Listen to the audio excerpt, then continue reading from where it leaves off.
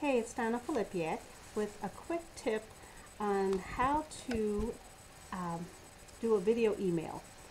And it's not an actual video, but it's it looks like a video, It'll be a picture of a video that you want someone to click on in the email, and it'll take them to um, wherever you want them to go, your blog post or your capture page. But uh, what's cool about it is people will think it's a video and they'll click on it and but it's not really a video. It just uh, it'll take them to maybe your blog post that has the video on it you know just to get them to click on your emails.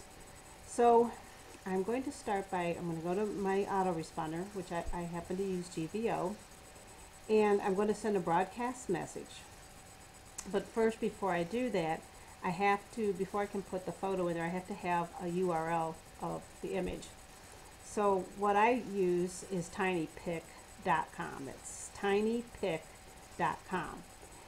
And I browse. And this is the one I'm using. is a Hangout that um, I want to invite people to. And then you upload now. And it gives you a little security code that you have to reveal. Unfortunately. You get a little commercial.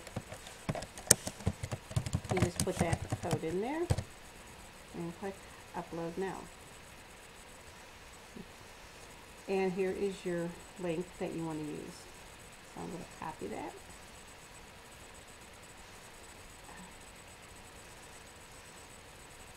I'm not really doing this at my desk, so Okay, so, so you go to image, put the image URL, and I don't put a description or anything like that, and I just insert it. It'll give you a little warning, this, uh, this one does. So there's the link that I want them to do, and all you have to do is click on this, and then enter, you know, with the um, insert a link, and the link that I want is this one here, so I'm just going to copy that and enter it here. And I always want it to go in a new window and insert.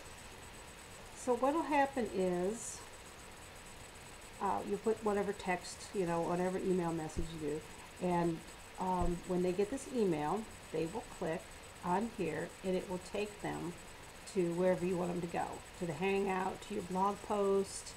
Um, but it's a really cool way to, if you have, because a lot of times people, they'll see an email and they'll say, click here, you know, and they'll just, you know, they just, nah, I don't feel like doing it right now.